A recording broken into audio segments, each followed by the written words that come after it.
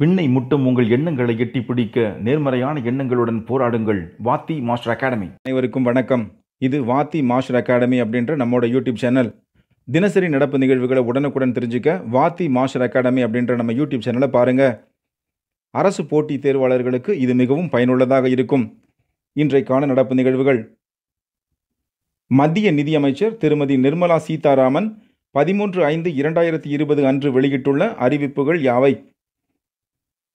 சிறு குறு நடுத்தர நிறுவனங்களுக்கு ரூபாய் மூன்று லட்சம் கோடி பிணையில்லா கடன் வருமான வரி கணக்கு தாக்கல் செய்ய மூன்று மாத கால அவகாசம் வங்கி அல்லாத நிதி நிறுவனங்கள் வீட்டுக் கடன் நிறுவனங்களுக்கு ரூபாய் முப்பதாயிரம் கோடி சிறப்பு திட்டம் வருங்கால வைப்பு நிதி பிடித்தம் குறைக்கப்பட்டுள்ளது. இதுவரை நிறுவனங்கள் சார்பில் பனிரெண்டு சதவீதமும் தொழிலாளர்கள் சம்பளத்திலிருந்து பனிரெண்டு சதவீதமும் பிடித்தம் செய்யப்பட்டது.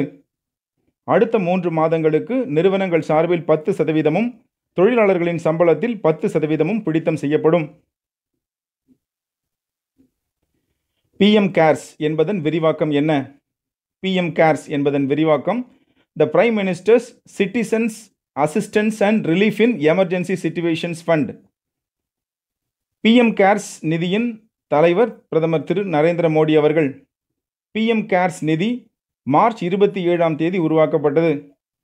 கொரோனா நோய் தொற்றுக்கு எதிரான நடவடிக்கைகளுக்காக பிஎம் கேர்ஸ் நிதியிலிருந்து மூவாயிரத்தி நூறு கோடி ரூபாய் நிதி ஒதுக்கப்பட்டுள்ளது.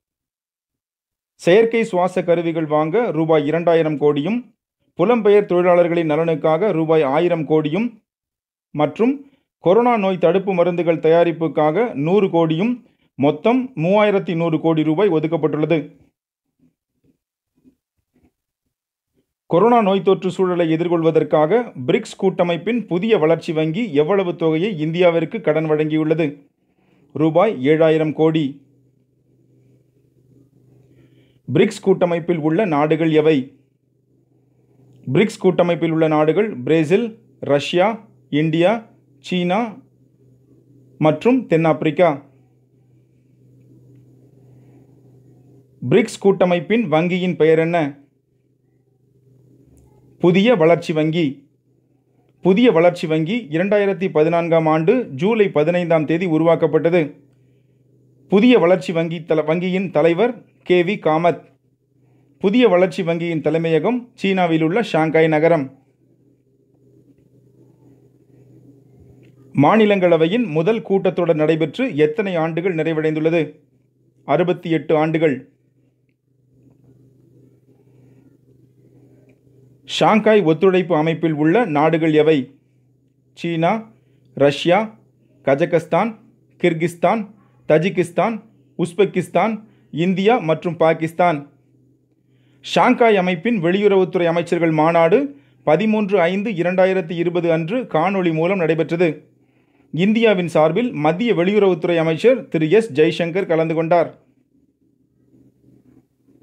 குஜராத் மாநில கல்வி மற்றும் சட்டத்துறைகளின் அமைச்சர் யார்? திரு. பூபேந்திர சிங் சூடாசமா. இவர் ரெண்டாயிரத்தி பதினேழாம் ஆண்டு நடைபெற்ற குஜராத் சட்டப்பேரவை தேர்தலில் வெற்றி பெற்று குஜராத் மாநில கல்வி மற்றும் சட்டத்துறைகளின் அமைச்சராக நியமிக்கப்பட்டார். தேர்தல் விதிமுறைகளை மீறி இவர் வெற்றி பெற்றதாக காங்கிரஸ் கட்சி வேட்பாளர் திரு. அஸ்வின் ரத்தோட் குஜராத் உயர்நீதிமன்றத்தில் வழக்கு தொடர்ந்தார். இந்த நிலையில் திரு. பூபேந்திர சிங் சூடாசமா ரெண்டாயிரத்தி பதினேழாம் ஆண்டு நடைபெற்ற குஜராத் சட்டப்பேரவை தேர்தலில் வெற்றி பெற்றது செல்லாது என குஜராத் உயர்நீதிமன்றம் தீர்ப்பளித்துள்ளது. சட்டப்பேரவை தேர்தலில் வெற்றி பெற்றதை செல்லாததாக்கிய குஜராத் உயர்நீதிமன்றத்தின் தீர்ப்புக்கு எதிராக திரு. பூபேந்திர சிங் சூடாசமா உச்சநீதிமன்ற உச்சநீதிமன்றத்தில் மேல்முறையீடு செய்துள்ளார்.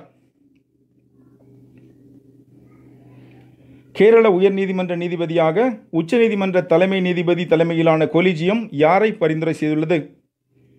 கேரள உயர்நீதிமன்ற பதிவாளர் திரு கே. ஹரிபாலை அந்த உயர்நீதிமன்ற நீதிபதியாக நியமிப்பதற்கு உச்சநீதிமன்ற கொலிஜியம் பரிந்துரை செய்துள்ளது. உச்சநீதிமன்ற தலைமை நீதிபதி திரு எஸ். ஏ. போப்டே தலைமையிலான கொலிஜியத்தில் உள்ள நீதிபதிகள் யார்? திரு. என். வி. ரமணா திரு. அருண் மிஸ்ரா திரு. ஆர். எஃப். நாரிமன் மற்றும் திருமதி ஆர். பானுமதி. நேபாளத்தில் ஏற்பட்ட நிலநடுக்கம் ரிக்டர் அளவுகோலில் எவ்வளவு பதிவாகியுள்ளது?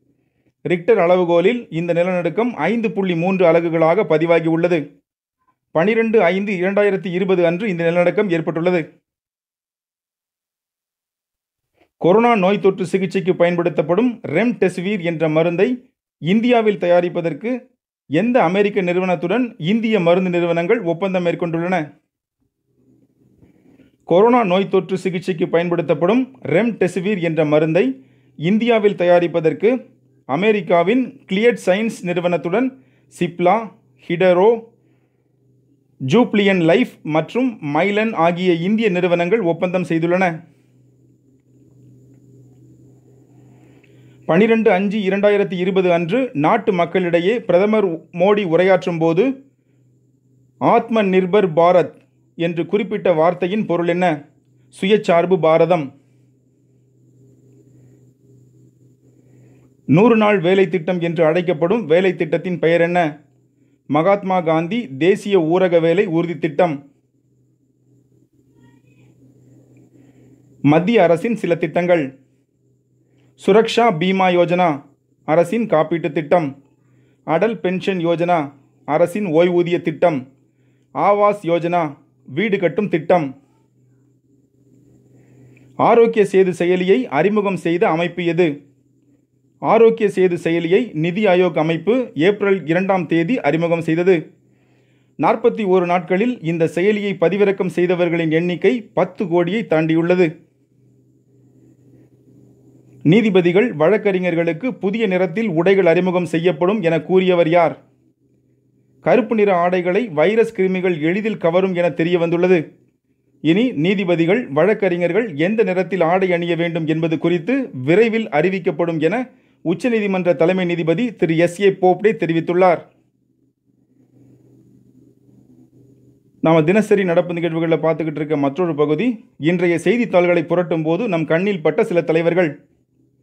மத்திய உள்துறை அமைச்சர் திரு அமித்ஷா மத்திய பாதுகாப்புத்துறை அமைச்சர் திரு ராஜ்நாத் சிங் தமிழக பள்ளி கல்வித்துறை அமைச்சர் திரு கே ஏ செங்கோட்டையன் புதுச்சேரி முதல்வர் திரு வே நாராயணசாமி மாநிலங்களவை தலைவர் திரு வெங்கையா நாயுடு மேற்கு வங்க மாநில முதல்வர் மம்தா பானர்ஜி இந்திய குடியரசுத் தலைவர் திரு ராம்நாத் கோவிந்த் மத்திய வெளியுறவுத்துறை அமைச்சர் திரு எஸ் ஜெய்சங்கர் மகாராஷ்டிரா மாநில முதல்வர் திரு உத்தவ் தாக்கரே உச்சநீதிமன்ற தலைமை நீதிபதி திரு எஸ் ஏ போப்டே தெலுங்கானா முதல்வர் திரு கே. சந்திரசேகர ராவ் மத்திய விமான போக்குவரத்துத்துறை அமைச்சர் திரு ஹர்தீப் சிங் புரி. இன்றைய நக நடப்பு நிகழ்வுகளில் நாம் கூடுதலாக ஒரு பகுதியை பார்க்க போகிறோம் இன்றைய குறிப்பு. இந்த பகுதியில் இலங்கை நாடாளுமன்றத்தோட தற்போதைய நிலையை பற்றி பார்க்க போகிறோம்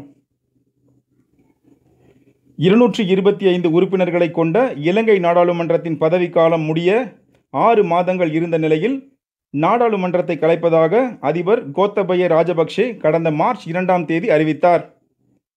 ஏப்ரல் இருபத்தி ஐந்தாம் தேதி நாடாளுமன்ற தேர்தல் நடைபெறும் என்ற அறிவிப்பையும் வெளியிட்டார். கொரோனா நோய் தொற்றின் காரணமாக நாடாளுமன்ற தேர்தல் ஜூன் இருபதாம் தேதிக்கு ஒத்திவைப்பதாக தேர்தல் ஆணையம் அறிவித்தது.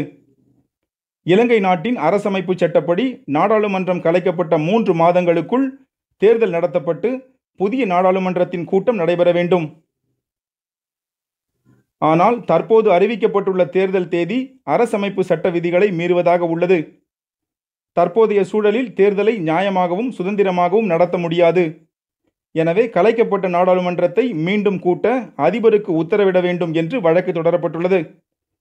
இந்த மனுக்கள் மீதான வழக்கு விசாரணை மே பதினேழு மற்றும் பதினெட்டாம் தேதிகளில் நடைபெறும் என உச்சநீதிமன்றம் தெரிவித்துள்ளது. இன்றைக்கான நடப்பு நிகழ்வுகள் நிறைவு பெறுகிறது.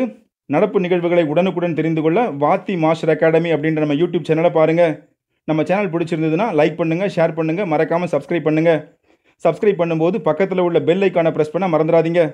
அப்போதான் நாம் எப்போல்லாம் நடப்பு நிகழ்வுகளை பதிவேற்றம் செய்கிறோமோ அந்த பதிவுகள் உங்கள் இல்லங்கள் தேடி வரும். நன்றி.